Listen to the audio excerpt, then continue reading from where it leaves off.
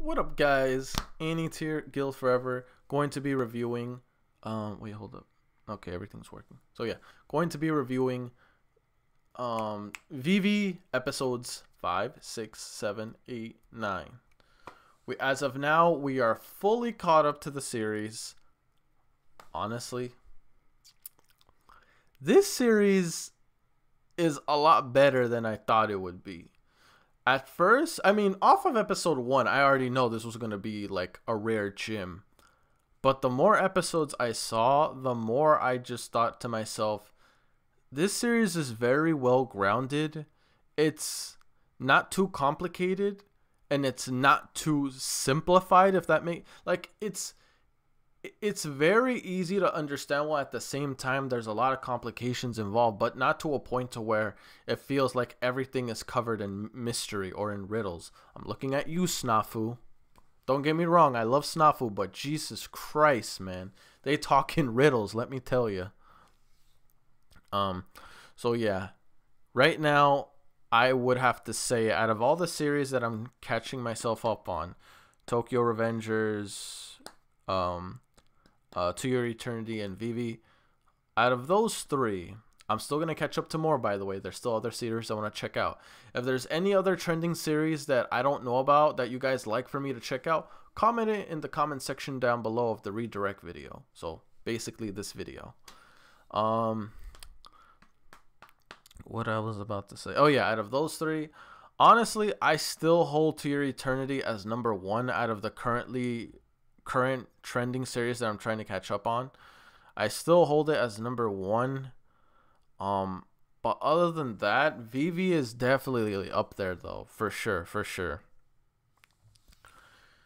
Animation, art, plot, and there's a lot of plot. And no, I'm not meaning that in the perverted way, you sick freaks. So yeah, no, I mean, but yeah, the, like the story is very strongly driven. So far in total, 61 years have passed in total since I'm assuming since Vivy and Matsumoto started this thing. I'm not 100% for certain. So I think 61 years have passed, which means we have less than 40, 40 years remaining in order to make sure the Singularity project is a go and we can get things not worrying about a future where freaking human genocide occurs.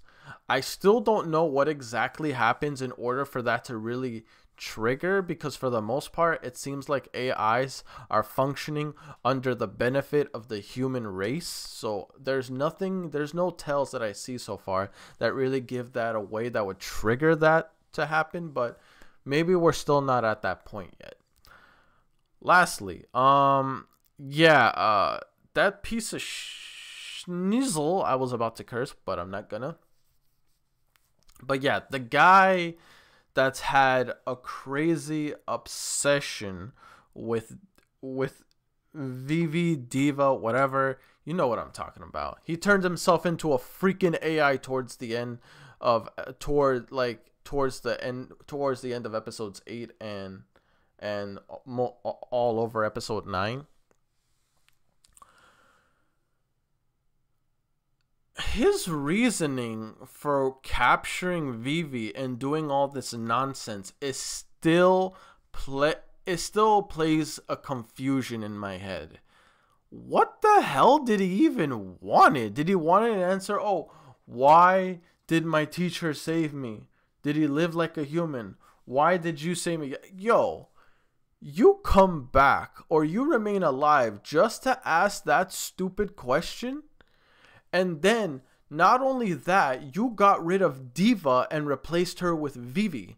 Personally, I think uh, Diva had a lot more charisma than uh, Vivy. I mean, Vivy's okay unless you like that kind of archetype of character in anime, but I don't know about you. You guys let me know. Who did you prefer? it goes along with the question up here also, but Vivy or Diva, I personally think Diva had a lot more charisma.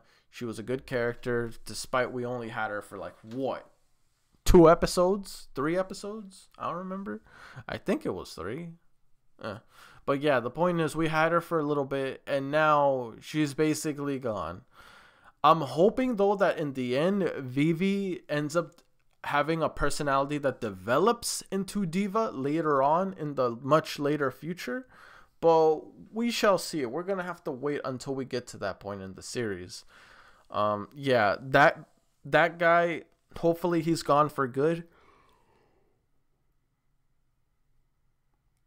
even though despite the fact he literally plugged his brain or imprinted himself onto a, a freaking AI robot just to keep himself living all these years. Like he's he's he's like he's like a bad cold. You just can't seem to get rid of him.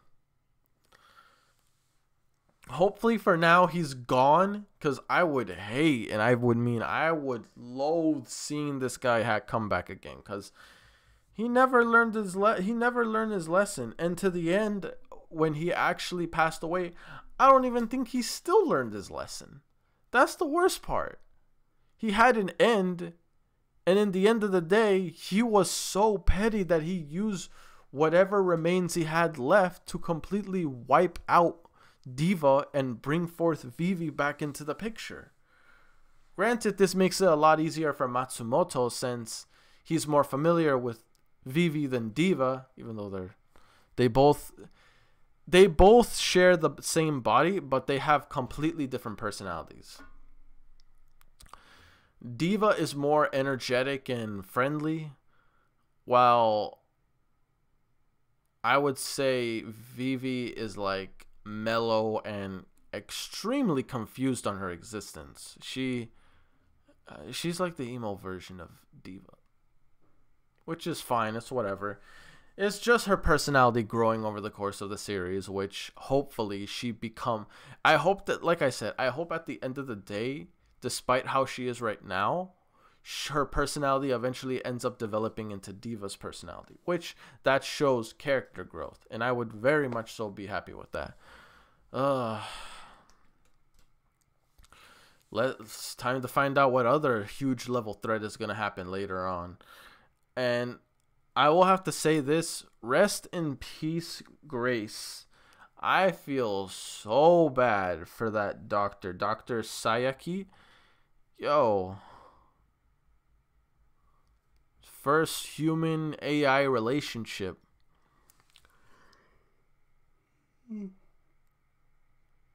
Not even. First human AI, like, marriage. And he truly did care about her because here's the thing the guy was abandoned by his mother. The only one he had in his life, or the only person that mattered to him, was Grace. What happened? She was robbed from him. Just because she's an AI. If she was a human, you couldn't do that to her to save your life unless you're a deranged lunatic.